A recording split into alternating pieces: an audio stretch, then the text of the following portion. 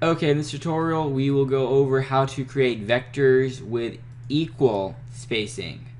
So the first thing we need to do is, you know, give a variable. So we'll call it example equal and in order to do equal spacing, MATLAB has a, a built-in uh, function which is linspace.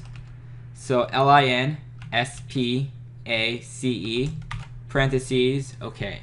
So for us, we want you know, equally uh, spaced. Our first number will be 0. Our last number will be 20. And we want to have four numbers. Like this. We hit uh, run.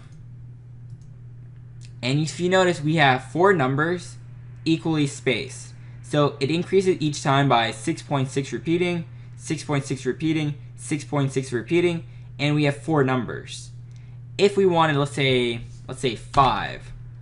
So we'll first clear this, and we hit run. So now instead we have five numbers to get from 0 to 20. So each time we'll go by 5, 5, 5, 5. And we'll just do it one more time, 6. So we'll clear again, and we hit run. So we have same thing, from 0, first term is 0, last term is 20, and it is six terms. So one, two, three, four, five, six, equally spaced. Each time it goes by four. And that is how you create vectors with equal spacing.